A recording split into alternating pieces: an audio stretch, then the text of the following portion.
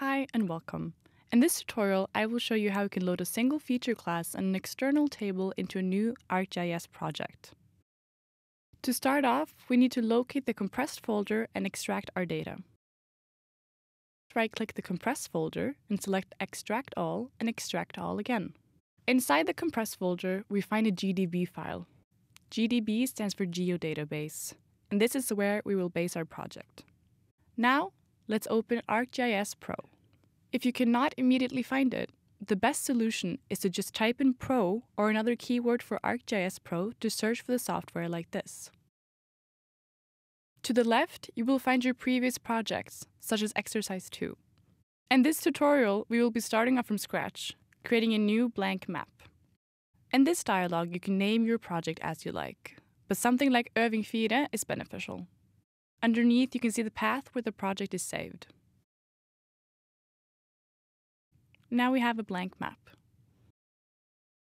ArcGIS Pro comes with these pre-generated map services, like this one labeled Geocache Basis. We will uncheck it because we are not in need of it for this project, and, and just, just projecting this may use an unnecessary amount of your computer's RAM.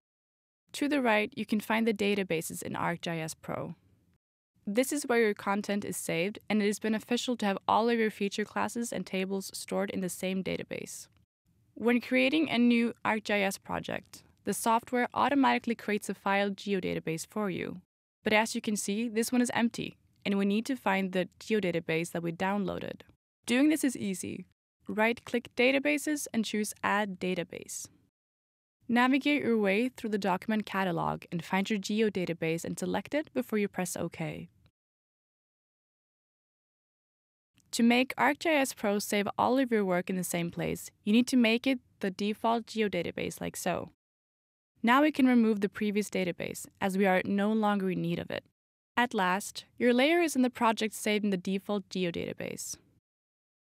You can now just drag it into the map window, and it will appear both here and in the table of contents to the left. As seen here, the map may look a bit weird as it is cut off randomly both to the west and to the east.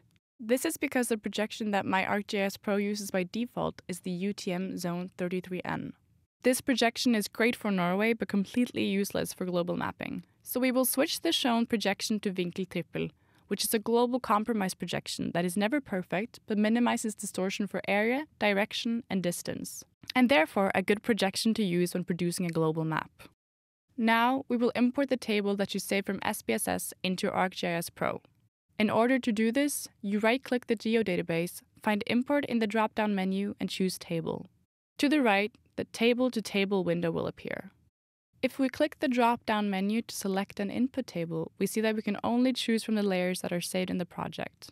In order to import the table, we need to find it in the folder to the right. Navigate to where you saved your DBase file, select it, and press OK.